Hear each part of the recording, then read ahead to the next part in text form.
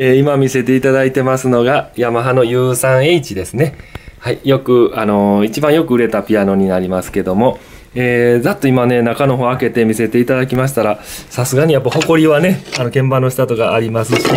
えーこの部分ですね、ちょっとサビが、えバランスピン出てますので、鍵盤の動きがちょっと悪かったりしておりますね。あと、あのフレンチコード、えー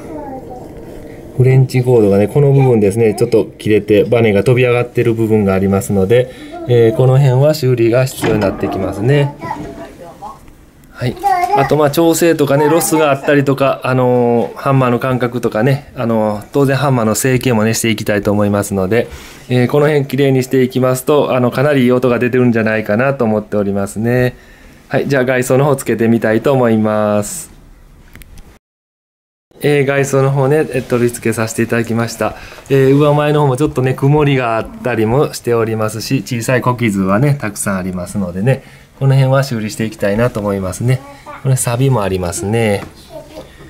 はい。ヤマハの文字もね、やっぱり錆びてますのでね、綺麗にしていきたいと思います。えー鍵穴とかね、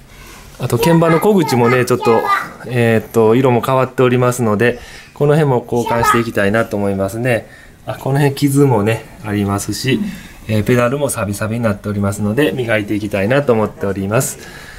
はい、外装こんな感じですけどね、埃も取ってきれいにしていきたいなと思っております。